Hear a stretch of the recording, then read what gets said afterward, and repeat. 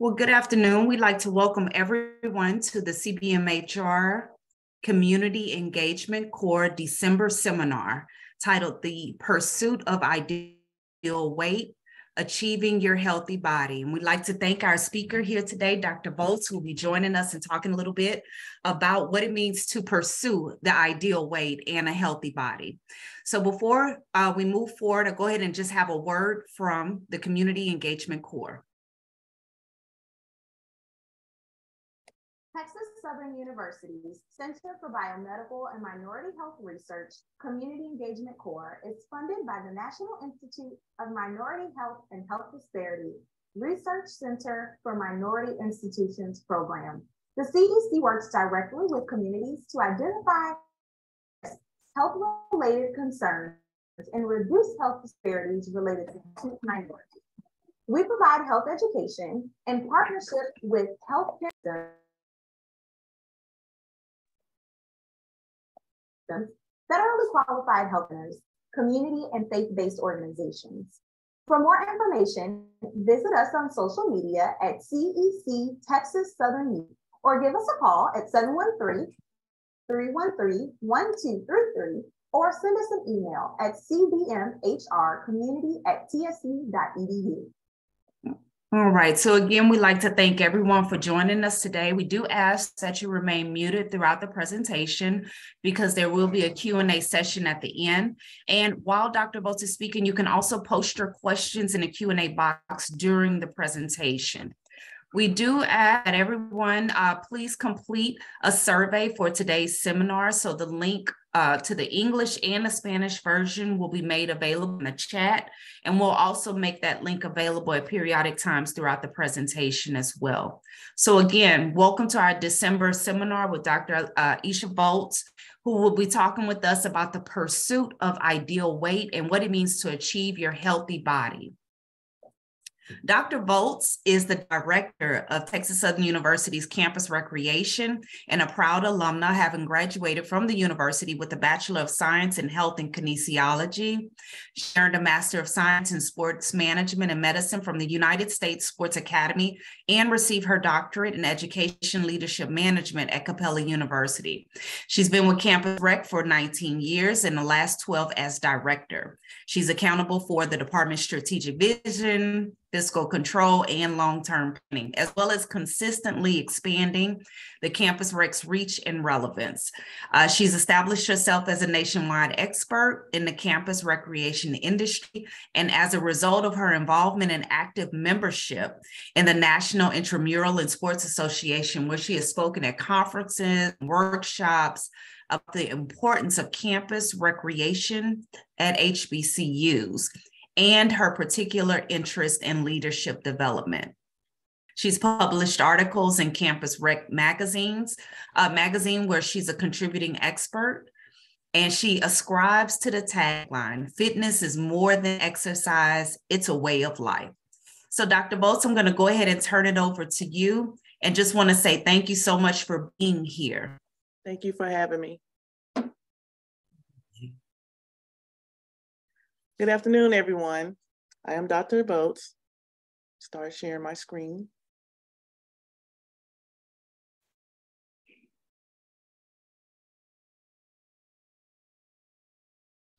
So today I will be presenting on maintaining a healthy weight. So we can go ahead and get started. So the first thing we need to discuss is what is determine a healthy weight. So a healthy weight is the number that is associated with the low risk of weight-related diseases and health issues. Um, it is important to understand that each person's healthy weight range will vary, and it depends on factors such as your age, the sex, genetics, body frame, your existing medical history, lifestyle habits, and your weight as a young adult. One of the methods that is utilized to measure the standardized weight or the healthy weight for, for your person is what we call the body mass index or BMI. This uh, method measures your weight to height ratio. And utilizing that specific calculation, it determines based off of that calculation is used to measure how risk you are at within your health.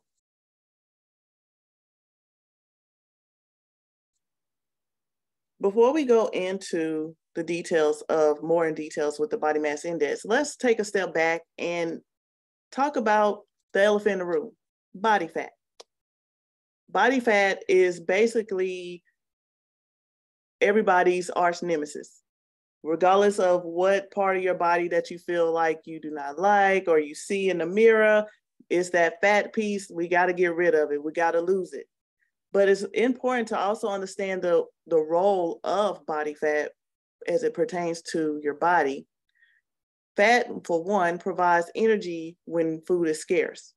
So when you are not eating adequately, or let's say you did not eat breakfast, lunch, dinner, those type of things, your body reacts. And that's when your fat cells kick in. And your fat cells start to find nutrients throughout your body. Okay. Fat releases hormones that influence metabolism, your hunger, and insulin sensitivity. So when you are hungry, when you start getting those urges, that's the hormones that are being released. Fat cells also secrete proteins and build enzymes involved with your immune functions. And also it's important to understand that fat multiplies. So when we think about fat, you need to know that the amount of fat cells that are in your body is actually determined after birth and during your adolescence. And it also stays consistent throughout your adult if your weight stays consistent.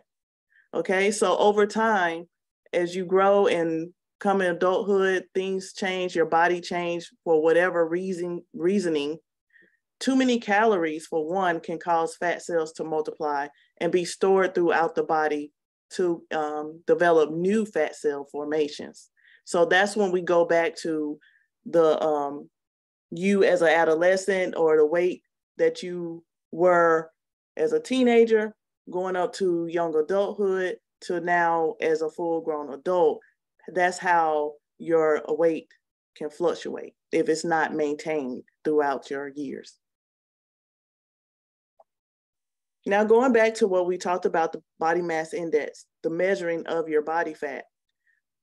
BMI is a good tool to estimate the excess fat within your body. It calculates and ratios, like we stated, the weight to height. However, it does have its limitations. It can't measure the actual location of the fat, such as belly fat is linked with greater health risk. So it cannot differentiate where the fat is located. It's just giving you a general overview of based off of your weight to your height. This is the standard. This is where you're at as it pertains to when we're looking at that chart. If you're at the normal, obese, underweight, those type of categories. And also it's important to um, consider things that are that you're contribute that can contribute to your weight. We talked about the age, your sex, race, and ethnicity can also affect your um, BMI.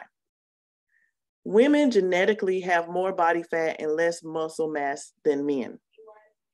Studies also have shown that Black people with the same BMI have less body fat and greater lean muscles. So, common knowledge or common record shows that Blacks and Hispanics have the highest obesity rates in the US. So the disease burden is a bit higher. That also can um, determine the culture um, that you was raised within or that culture as a, as a whole as it comes to how we eat and things such as that. Now we look at how do we determine our BMI. We actually can measure our own BMIs at home or wherever you are. So the best way to do that, you want to divide your weight into pounds by your height in inches. So you want to divide the answer by your height in inches. Then you will multiply the answer by 703. So once you get that number, you then want to interpret it what that means. So based off the World Health Organization, It devi- defines a normal weight for a BMI will be a measure of 18.5 to 24.9. That will be considered normal. Overweight or pre-obesity is measured at 25 to 29.9. And then obesity is anything that measures 30 or higher. At a population level, that's what we're looking at, just a general population, not the individual. So when you measure yourself, it's based off of a general population or the general overview of an, not the individual.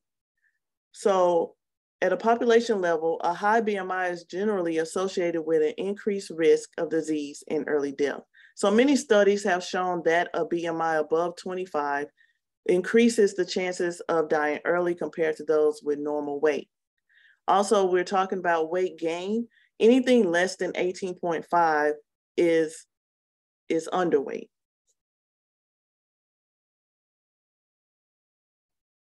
Other methods that are used when measuring is waist circumference. So some researchers consider waist circumference to be a better measuring of unhealthy body fat than BMI, as it addresses the visceral abdominal fat. So when measuring utilizing the waist circumference method, you wanna wear thin clothing or no clothing at all, stand up straight, and wrap a flexible measuring tape around your midsection laying the tape flat so it crosses your navel belly button. The tape should be snug but not pinched too tightly around the waist. And you want to inhale and exhale normally. Do not hold your breath. You can repeat the measurements two to three times to ensure a consistent reading. So after you get that reading, a waist size larger than 40 inches for men and 35 inches for women increases the chances of developing heart disease, cancer, and other chronic diseases.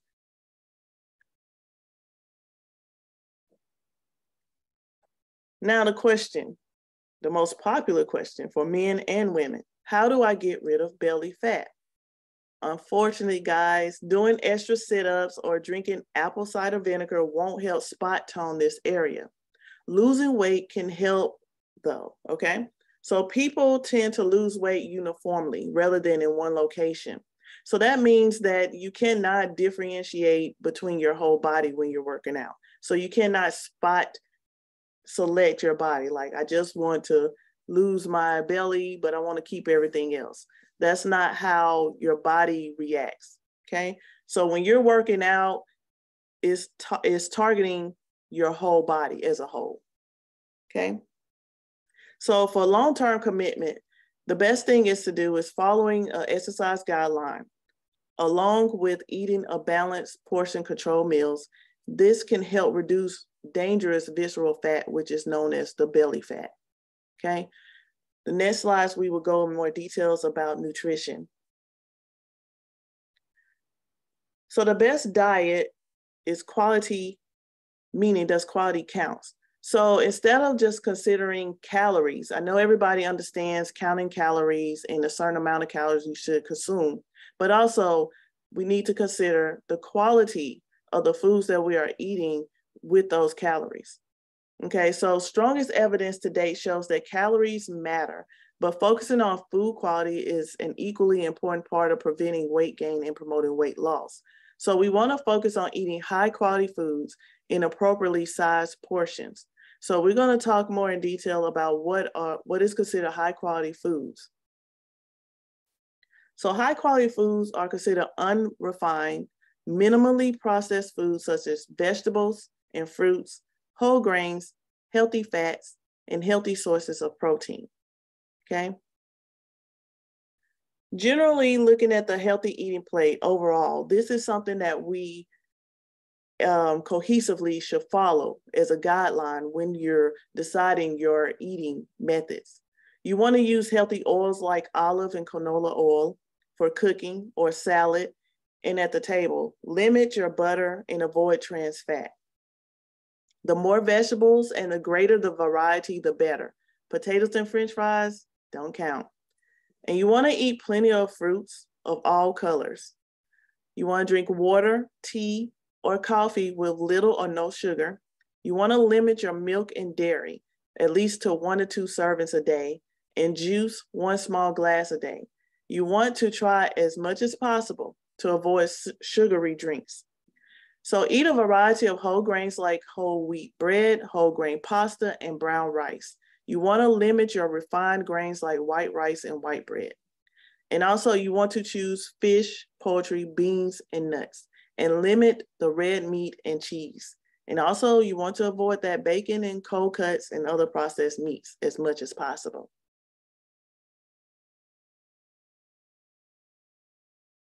We want to talk about lower quality foods because they do exist. This include processed snack foods, sugar sweetened beverages, refined white grains, refined sugar, fried foods, food high in saturated and trans fat, and high glycemic foods such as potatoes.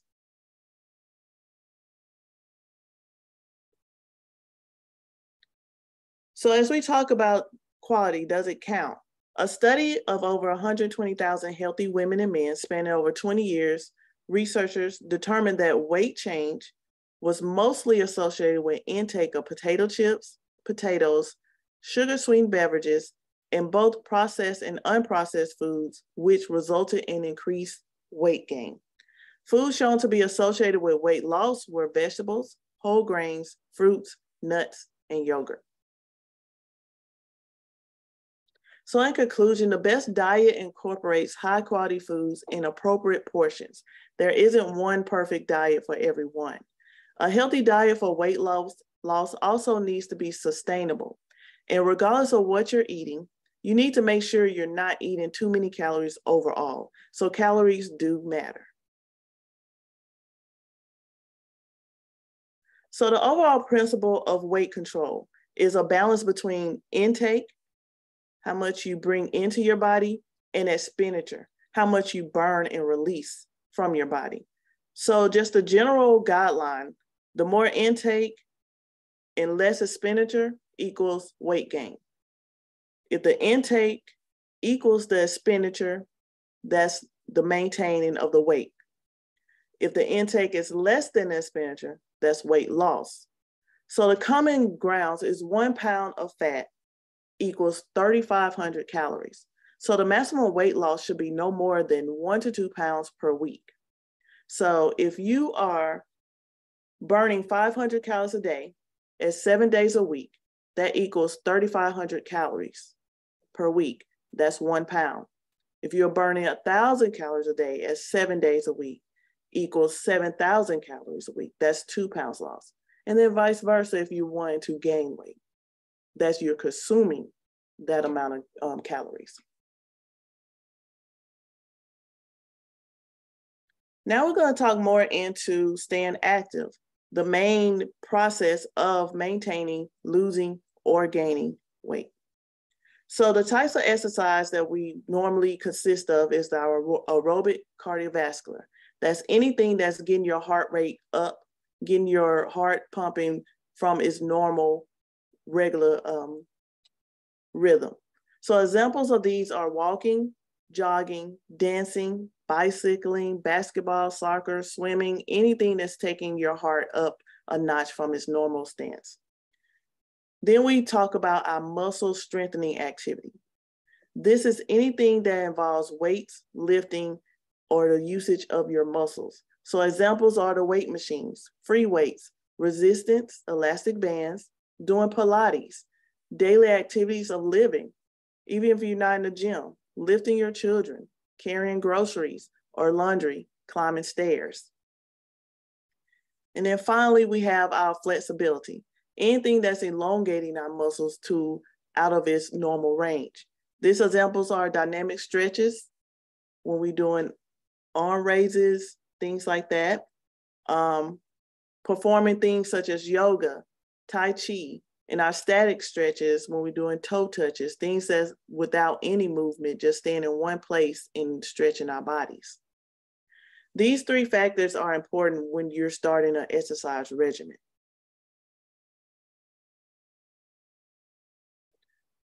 Adults should move more frequently throughout the day and sit less.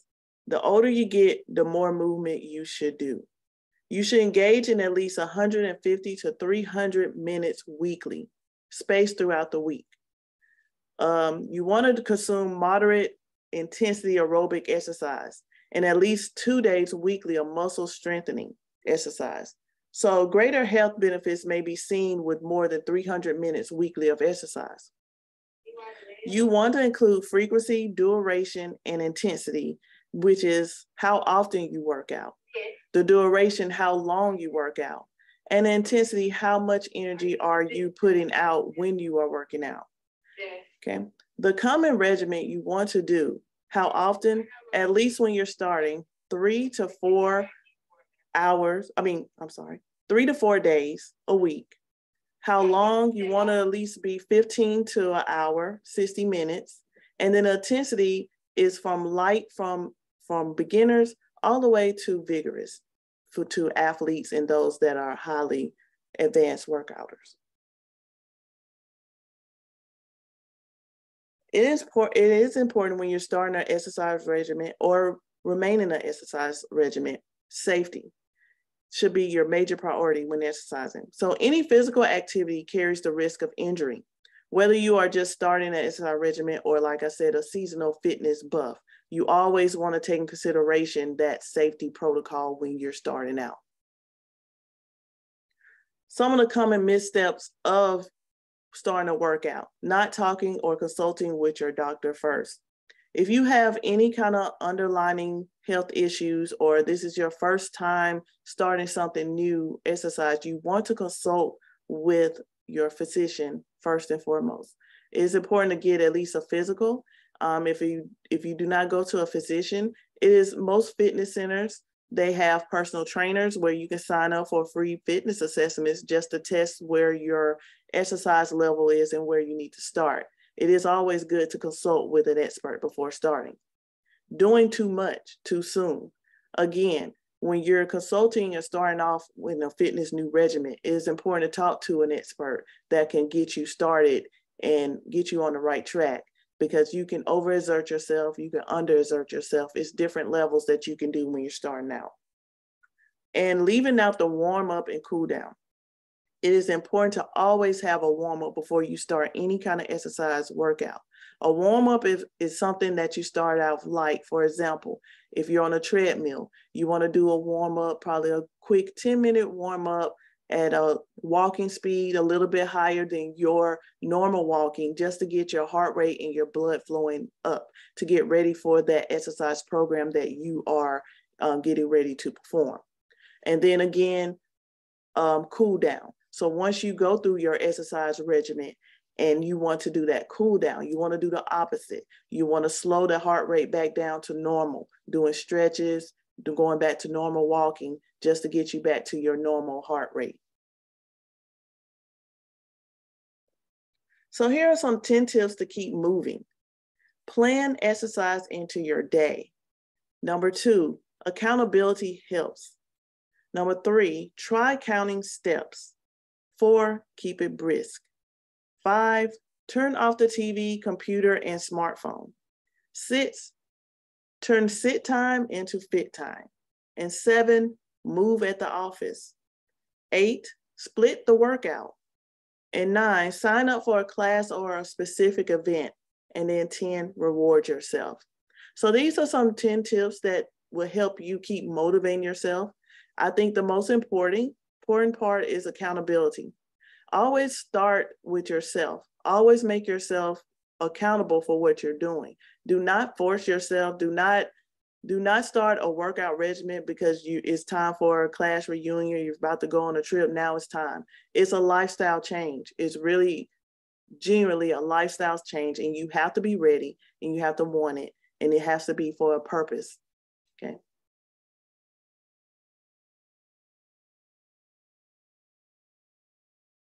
Another common factor that will consist in helping you maintain your healthy weight is stress. Stress is a common problem in most societies.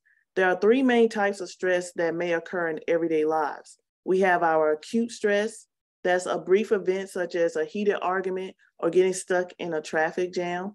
We have our acute episodic stress, which is frequent acute events such as work, deadlines. And then we have our chronic stress, which is persistent events like unemployment from a job loss, physical and mental abuse, substance abuse, and family conflict. Stress and health problems. When stress is prolonged, a lot of times people are stressing, you do not know you're stressing. If you ever take time in a silent place and just breathe in and breathe out, and you realize how tight you're really holding yourself, that is stress. And you might not even know that that is even happening throughout the day. So when you are dealing with stress, health problems can exist. And these are some of the known health, um, health problems that does exist when stress is not being um, taken care of. So we have our digestive issues such as heartburns, flatulence, diarrhea, constipation, weight gain, elevated blood pressure, chest pain, heart disease, immune system problems, skin conditions, muscular pain, sleep disruption and insomnia, infertility, and anxiety. So some of these common things that occur, it heartburns come, you just take it as, oh, I must have ate something. You might want to take time and just, am I stressing? Ask yourself those questions when simple things that happen on a daily basis that can be cause of stress when your body is not normally reacting to the normal daily operating of its system. Here are some tips to help control your stress. Eating a healthy diet, mindful eating. Mindful eating is very important. When you're eating lunch, dinner, breakfast, take the time to really chew and eat your food. A lot of people, and because of society, as usual, we're eating on the go. We always have something else that that's more important. Let me hurry up and eat. And when you eat like that, you're not mindful that you're eating. So then now you're still hungry because you didn't take the time to chew and reflect on I'm eating, you know, things like that. Regular exercise, meditation, deep breathing techniques. That should be a daily task for you. Time you get up, just give 30 minutes just to lay, breathe in and out, reflect before you get hustle and bustle of your day. Mental health counseling or other social support. Practicing life work balance. I know that most people, we always say the term work life balance, but it should be flipped around because your life is more important. So, practicing life work balance. Schedule fun activities or hobbies at least once a week. Do something that you love. Take yourself out of the norm and, and relax. And those are things that help control your stress, your level, and get you back to a level that you are wanting to be on. And then, of course, good sleep hygiene. You want to have roughly eight to nine hours of sleep.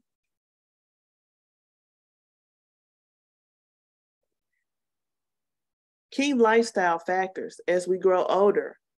These are the factors that we have to maintain throughout our lives. That's our healthy diet, regular exercise, healthy weight, not smoking, moderate uh-huh. alcohol, having life purpose meanings, social connections, and brain stimulation. These are the things that are key lifestyle factors throughout our entire life as we go through this cycle. And that concludes my presentation on maintaining a healthy weight. And thank you for your time. And now I'm open for any questions and answers that you may have.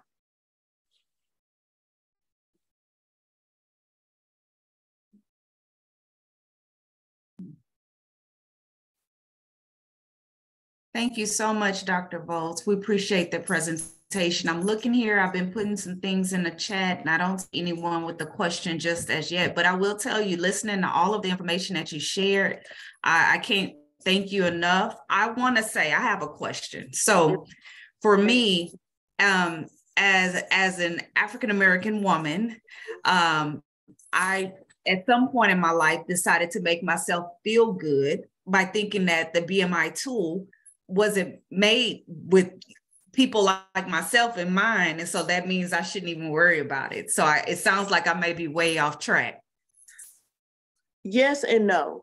The reason why I say yes, I would say generally speaking, most of these charts, most of these uh, categories that are placed, it is based off of a white male age 25. And then from there, they differentiate.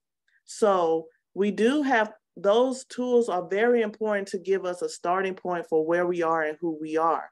But it also, you want to take in consideration you individually, meaning knowing your starting weight when, when you was young, knowing your activity level from when growing up. So you factor those things in. You also take in the culture of an African American woman, African American in general. We we tend to be a little bit more thicker skinned than our counterparts. So you do take those factors in place. So those me- those measurements does work to give you a foundation, but you also got to consider start putting in your individual needs and in where you feel that you need to be based off of that healthy uh, results.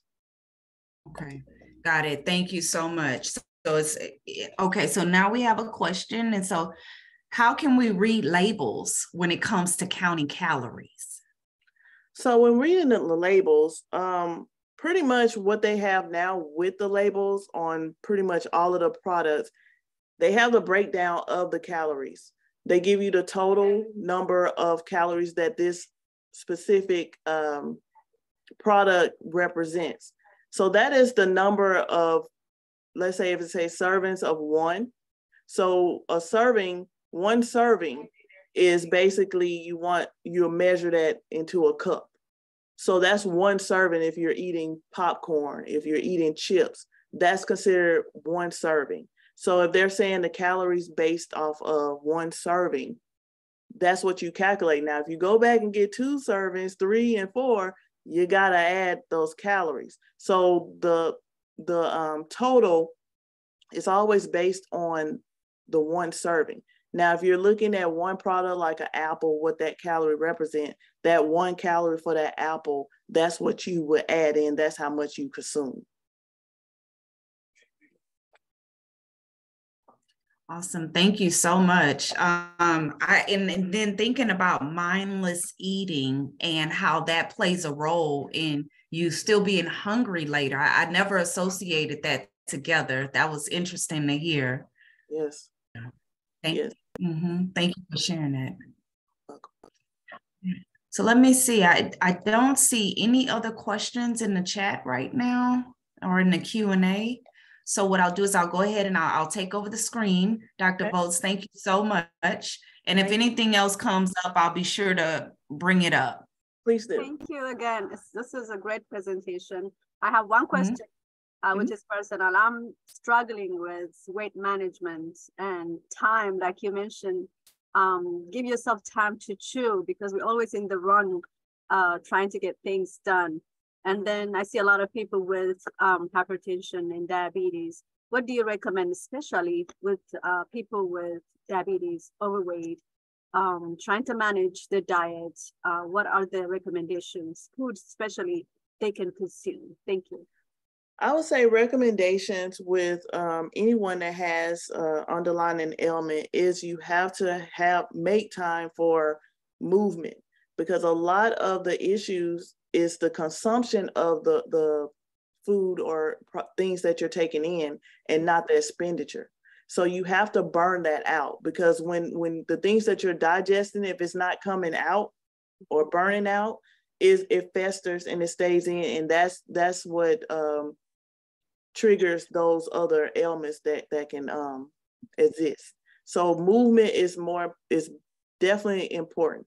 You want to get at least 30 minutes of some kind of movement. If you're in the office, just get up and jumping jacks, whatever you want to do. It's, it's a lot of things that you can do, or just be mindful and conscious of when you're walking to the restroom when you're when you're walking to your car when you're walking up the stairs you take those extra movements do some extra steps. Those things are are uh, very important that you don't really take be conscious of. So a lot of the things when it comes to maintaining healthy weight or any of the things is the mind first. You got to overcome the mind because when you you already defeated yourself when you said i don't have no time. You have time. You have time we have a lot of time in the day, but we consume it with so much other things that doesn't matter when we talk about our health. So then that's when you want to, that's where the life work balance come in. Right. You want to put in that time of when you have your lunch break, you only should think about your lunch break. But a lot of people think about, okay, I got my lunch, but I got to go back to the office because I got to make this phone call. And then when I leave, I got to go to the grocery store. And then, you know, you're, you're doing all these things when you're supposed to be your lunch break. So it's important to be in the moment. And and just going back to to the ailment, some things that I do because I'm not a big eater. When it comes to nutrition and things like that, I'm kind of unconventional myself. So it's hard for me to to give those those um, examples as as most people because everybody has to find their own path. But what I found for me, because I'm not a big eater when it comes to breakfast, I, I, I just, I'm just not hungry. What I do is, I, you still need those nutrients. I'm a big herbal tea drinker because it already have natural herbal teas, so it already have those nutrients that's in your body. You can do things like smoothies. Um, we talk about um, what I said, herbal teas, anything that have nutrients in your body just to get your body flowing. A good thing to do early in the morning is uh, just a warm cup of water and a squeeze of lemon. That right there triggers your body to flow and function. The thing about your body is it's going to do what it's going to do. It's up to us to aid and help it do what it's going to do. If you're not eating properly, it's going to find ways to protect itself by the fat. Now the fat's gonna come and eat where it needs to eat and preserve and help and the organs, whatever it needs to do to keep it going. But it's our job to feed it. It's our job to nutrient and keep it doing, helping it do what it has to do. This is really awesome answer. Thank you so much because I've been going to my doctor's office. All I hear is, uh, watch, maintain your diet, but I don't know how what is that? It. I don't know what is that. So thank you. One thing I would say, like just to start off, because I never tell people like certain foods to eat, things like that. Whatever you're eating, if if if if you're a huge snacker, bring it down a notch. Just don't eat as much as you did. Like continue to eat the things that you eat until you naturally wean yourself off of it, but don't eat as much of it. You know, those type those type of things. If you know that you're you want to lose weight, lessen the cal lessen the things that you are doing now. And you will you will start seeing those changes just by taking those small steps. It's baby steps. It's a marathon. It's not a sprint. You work with your body. Listen to your body. Thank you very much. Really appreciate this. You're welcome and, and Dr. Voltz, we've got a couple of uh, attending members who wanted to give you some comments here, and they say, Thank you for this informative webinar. Uh, they really like the rephrasing line, life work balance. Thank so they you. say, Thank you for that. And then another person said they really like the statement, make sit time fit time. Thank you. Yeah. so thank you for giving those uh, that tidbit of information, and I appreciate the the perspective you shared about is because I it can get overwhelming sometimes when you think about what all you need to do. But it sounds like you're saying you can just take a gentle, compassionate harm reduction approach yes. to to improving your health and weight. And I love that. So it's like you don't have to just give up everything, but just slowly start to kind of, you know, just make it a little smaller each time and you, it's progress. The thing is, you don't want to add on to your burdens. You don't want to add on to the frustration that you're already feeling about yourself. You just want to be conscious and aware of the that you're ready for a change and then start making those little changes from where you're starting it now. Awesome. Awesome. I love that. Well, let me see if there's anything else in the Q&A and I don't see anything I don't else. See any more questions. Okay, so I'll go back and share my screen. So we can uh, close out with a few upcoming announcements and events on behalf of the Community Engagement Corps. So once again, if you have not ready, uh, please complete the survey in the chat box and just give us your feedback and let us know what you think and what you'd like to see more of. Um, we also have an upcoming a monthly seminar, which will be held January 28th uh, approximately from 10 to 2 p.m. It's an in person outreach event. It'll be held at J.D. Walker Community Center, and the focus will be on uh, mothers, maternal health, their children. Our goal is to provide the, some resources, supplies, quality information about how to improve your maternal health. And so this is open to everyone, all community members uh, and supporters and loved ones as well. Come on out and join us. Next, we have a maternal child health focus group that'll be taking place tomorrow, actually at 10 a.m. Uh, the Zoom. And so here the goal is to kind of just talk about some more the the health disparities that we're seeing amongst our Black and Brown women, um, and just kind of share experiences. We certainly like you to consider putting on your calendar the upcoming Clinical Research and Engagement Conference, which will be held April 22nd 2023. This will be on a Saturday. Um, and we are planning to have this in person and also stream live. So previously, um, we've always had it virtually. So this will be our first time having it in a hybrid session. So we hope you all consider joining us, and it'll be at Texas Southern University. Monday, December 5th, we have our upcoming Community Connect Forum. This is where we like to connect with our partners, our CEC partners, and community members so we can share about the information and things that we're doing in our organizations. A lot of us are doing similar work. And so sometimes it's just good to come together and tell us what you're doing, uh, what you're looking for, if you need anything. And maybe we can kind of work together to make those things happen. So consider joining us. It'll be virtual. Um, and the Zoom link, um, it should have went out already already uh, via our, our list serve. And then also we would like, we're proud to um, announce that the Community Engagement is offering its first Community Impact Grant. Uh, with this grant in partnership with AFLAC, so we give thanks for AFLAC, uh, in partnership with them, we'll be able to offer one to two uh, community-based grants to individuals or organizations who want to propose a project for a specific disparity related social determinant of health into a project. Um, and so the RFA will be made available December 9th um, with applications due in January. So this is just kind of a save the date. If you're interested or just want to get a little bit more information, know that we'll be putting that out on the 9th.